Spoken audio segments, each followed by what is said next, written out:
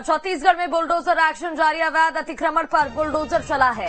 बिल्कुल dental college और मेकहारा अस्पताल के पास ये बड़ी कार्रवाई की गई है। वीआईपी रोड पर बनी दुकान को दुकानों को भी यहाँ पर जमींदोज किया गया है। संजय नगर इलाके में 12 दुकानें यहाँ पर तोड़े गए हैं।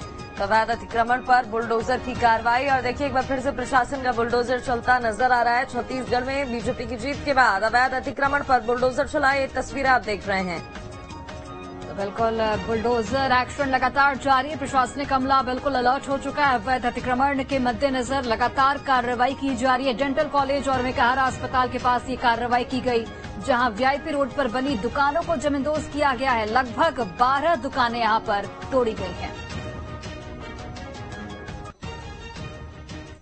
और छत्तीसगढ़ में बीजेपी की जीत के बाद बुलडोजर गरज रहा है।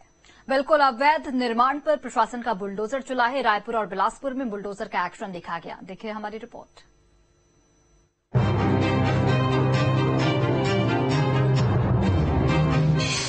छत्तीसगढ़ में नई सरकार के गठन से पहले बुलडोजर का एक्शन देखा जा रहा है। रायपुर, बिलासपुर समेत कई जिलों में प्रशासन की ओर से बुलडोजर कार्रवाई हो रही है। रायपुर के अलग अलग इलाकों में 24 घंटे तक बुलडोजर की कार्रवाई देखी गई है। शहर की सरकारी जमीनों पर अवैध कब्जे ढाए जा रहे हैं। तो यहाँ के कई इलाकों में अवैध शराब के अहातों को हटाया गया है। तो कई अवैध दुकानों को तोड़ दिया गया है।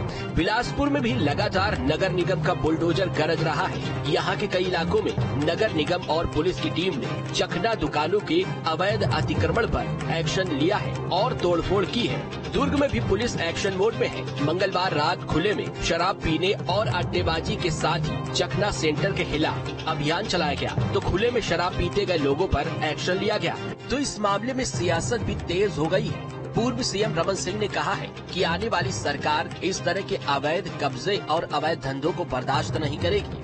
जो जिस प्रकार अवैध रूप से छत्तीसगढ़ में, रायपुर में और आसपास जो अवैध कब्जे थे, प्रशासन समझ गया है कि आने वाली सरकार इस प्रकार के अवैध कब्जे और अवैध धंधे को बर्दाश्त नहीं करेगी।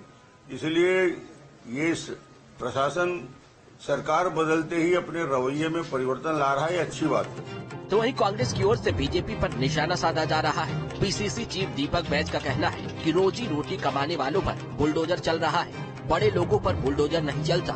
बुलडोजर किसके पर चल रहा है? किसी अमीर के घर पे बुलडोजर चल रहा है क्या? और किसी और बड़े लोगों पर बुलडोजर चल रहा है क्या? बुलडोजर वो ठेला गुमटी चाय ठेला पान ठेला उन पे चल रहा है जो परिवार के लिए रोजी रोटी कमा रहे हैं रोज़ाना। गरीबों पे बुलडोजर चलाने से अच्छा बड़े लोगों पे बुलडोजर चलाए? छत्तीसगढ़ में बुलडोजर की नहीं, विकास की राजनीति चलना चाहिए हालाँकि अब देखना होगा, नई सरकार गठन से पहले प्रशासन की ओर से बुलडोजर कार्रवाई जारी रहेगी, या फिर बुलडोजर पर सवाल के बाद ये कार्रवाई रुकेगी। रायपुर से अंकुश शर्मा, बिलासपुर से रोशन वैद्य के साथ, टीम न्यूज़ स्टेट।